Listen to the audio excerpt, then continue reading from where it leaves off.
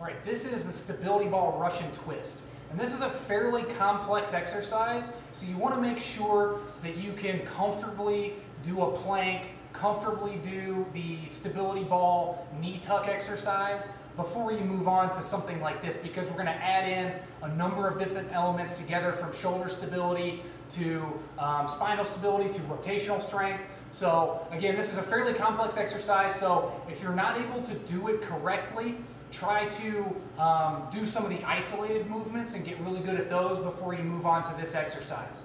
So um, we're going to be starting with our feet on the stability ball. You're going to find some kind of box to put your hands on like this. We want to make sure our back is nice and flat, all right? Um, our abdominals are engaged so that everything's nice and tight. And then we want to make sure that we're controlling the motion really well. So this should be uh, methodical, relatively slow moving, all right? So that you're, you've got good control over what you're doing, all right? So one foot off, rotate, coming back, and then go the other direction, all right? If you're having a hard time doing that, um, and doing it slowly like that, then go back, make sure that you can do those individual exercises at a really high quality level before you move on to the stability ball Russian twists.